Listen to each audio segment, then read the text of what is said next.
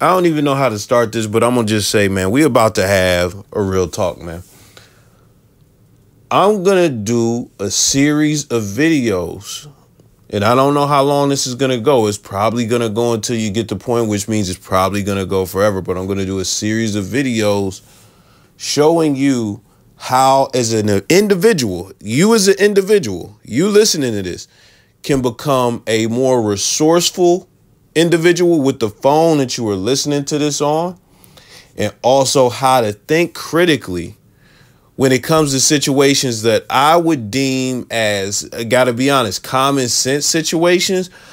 But common sense is not common anymore. And even then, people are not resourceful with the motherfucking super powered piece of fucking technology that's in their hands. So I could get into all types of shit, but we're just gonna go with a specific instance of something that happened recently in Texas and Ohio. The Russians are coming. The Russians are the Russians. You received a call from the school or from some nigga, or you received a group text message on some spam shit, whatever, whatever, whatever. So you received a text message or you received a call, one or the other, saying that you know, Russians were going to bomb the schools. That's what you, you know, that I don't, I didn't receive this or nothing like that. You know, this is the information that's coming out, you know, as far as how the information is getting to you. The way that the information got to me is by a bunch of people putting it in the timeline on Facebook. So I see that, oh, Russia's coming and I, when you hear this information, you got to understand this is the first thing that should cross your mind. Wow, this is very alarming and very major. This is very alarming and very major. I'm sure that crossed your mind. But when you think about it, you got to think, okay, let's look at what happened. This doesn't happen every day. This doesn't even happen every year. This is very peculiar because we don't really get bomb threats and things like Why that. Why in the wide world of fuck would a country that is at war with Ukraine have terrorists in it that have their sights on Ohio and Texas and Illinois, whatever other states? It's kind of ridiculous, right? Kind of ridiculous. So it had to cross your mind at some point that it's not ridiculous, but let's just go over that really quickly. Like you got you got to start to look at things, and this is how you prevent this. How you prevent falling for the trap. The first step is to be more skeptical. You get you, you dig? That means question everything. I don't know if you know because I don't know if you pay attention to what's going on in the world. Russia actually did a lot of shit on social media as far as pushing fake news into our faces during the 2016 election. The internet has not been the same since that. When the pandemic came, there were all types of fake information. You remember the 5G. You remember all that. You remember the martial law that was supposed to come on Monday, but then Monday came and nigga, y'all niggas had to go to work. You remember that? Boom. So with that being said, you have to begin to be more skeptical about everything. That me because I know some of you are not going to look up skeptical. I'm going to put it on the screen. You have to begin to question everything, especially when it sounds kind of fucking ridiculous. You get it? You get it? So that's the first step. Begin to be skeptical about shit, especially, and this is the main thing when it affects your life. I don't give a fuck about no man. Did Keke Palmer finger Usher? I don't give a fuck. You could believe that shit and it's never going to affect your life. But when you start to believe things that make you, you know, move different or things that you think, you know, somebody could die in your life or something, you got to begin to question things like that. So, boom. Once you realize that, which a lot of you didn't, a lot of you just fell for it because you're not skeptical enough. Once you are skeptical about it and you begin to talk about it, this is what you do.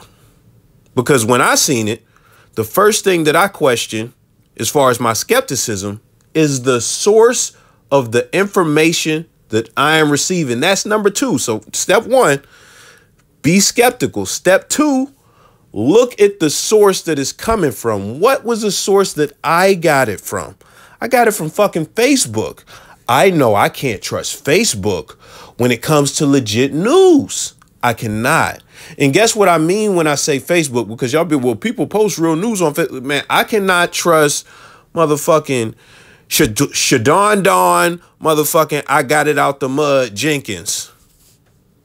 Fucking posting that shit is a legitimate source. I can't trust that.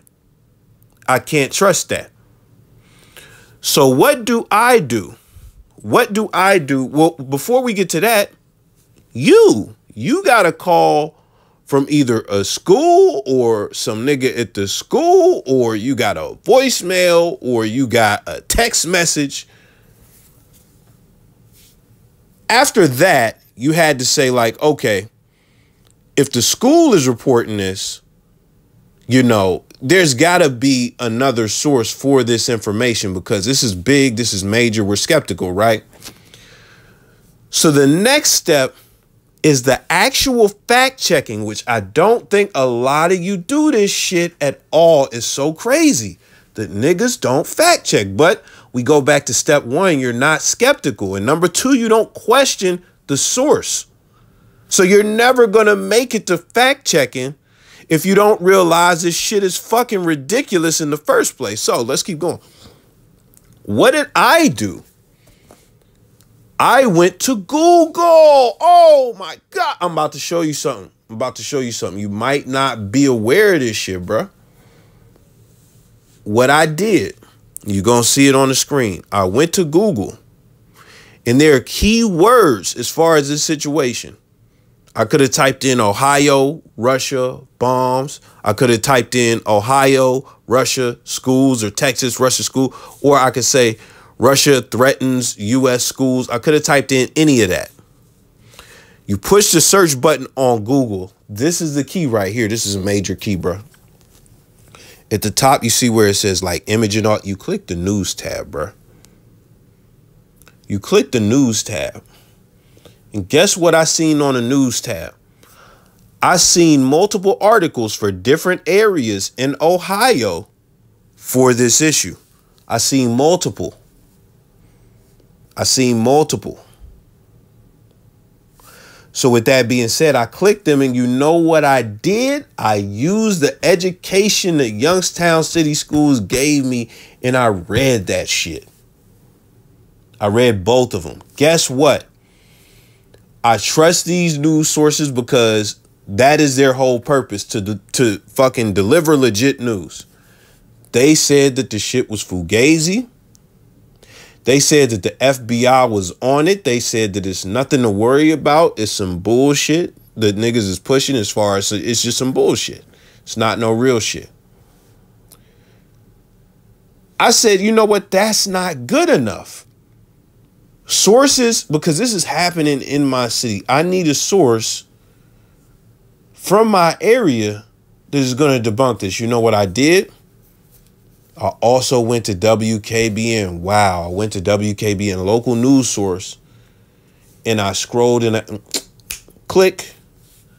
There you have it. This shit is a hoax. It's bullshit. Now, this is where I won't blame you at. I understand that the news is kind of crazy and we live in crazy times and that you want the safety of your kids and stuff like that. So even if you did get all this information, if you wanted to be better safe than sorry, I'm not mad at none of that. I get it. I completely get it. But to not seek the information at all and to just take this at face value and just to believe whatever you're seeing and being told by untrusted sources, that's crazy. You need to step your sources up. You need to step your skepticism up. I will be back with more of these in the future. But this is just, you know, just just those three steps. Let me recap it just in case you forgot it. Number 1, be more skeptical. Number 2, look at the source. Question the source. Is this a legit source? Number three, fact check. And the tools that I gave you in this video are Google News and your local news outlet. Thank you. You have a good day.